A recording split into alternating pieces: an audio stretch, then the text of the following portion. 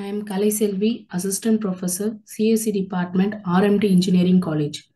The subject code is 22CS102 Software Development Practices Integrated with Laboratory, first semester, see, uh, common to all departments, Unit 1.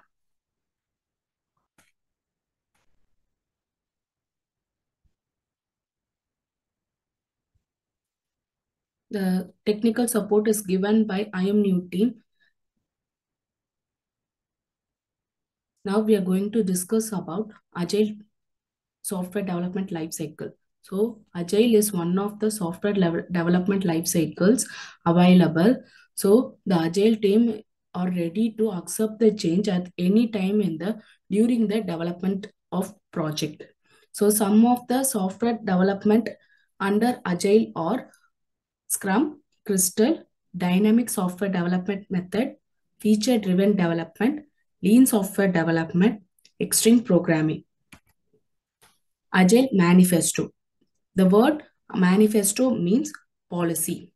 So some of the Agile policies which are following by the companies are first, individual and interactions over processes and tools the all the stakeholders involved in the project will interact among them and decide what are the tools are required for the development of the project and what type of process software processes will be undergone in this. Next is that a comprehensive documentation of whatever the stages they are covering and what are the flaws they are facing and how they are rectifying from that all will be documented and customer will at each phases and at each iteration customer will be collaborated among the stakeholders and to check whether all the requirements has been satisfied. And next what uh, any change was given by the customer uh, the agile team are ready to accept the change and they are ready to implement it in the project. Principles of agile. The major principle followed by the agile teams are first is customer satisfaction.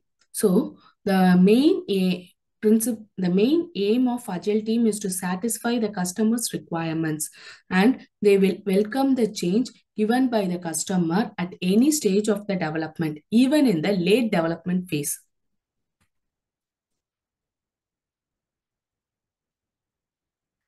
next delivering the working software frequently. Frequently in sense, all the phases in the software development cycle will be done in iterative manner. So at each iteration, some software increments will be delivered. So the time period of each iteration will be few weeks or months. So at each iteration, some software modules will be delivered, which will be in the working condition. Business people and developers must work together during the entire life of a project development phase.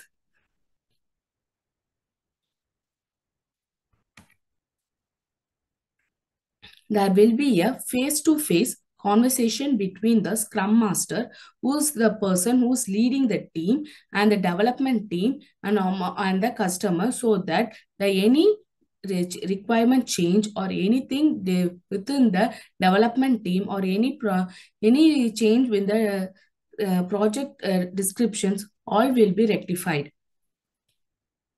So the measure of the project like uh, project so the measure of the development of the project is can be calculated by the working software which are delivered at each increments the main aim of agile development is sustainable development. So all the businesses and the users should be able to maintain a constant phase with the project.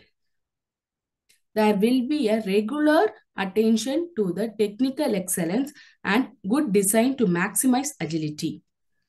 So keeping these things very simple so all can interact and do the work completely the agile team will be organized among themselves so they won't depend on other teams for best architectures, requirements, designs emerge from self-organized teams. the work which they have done or reviewed at regular intervals so the team can reflect how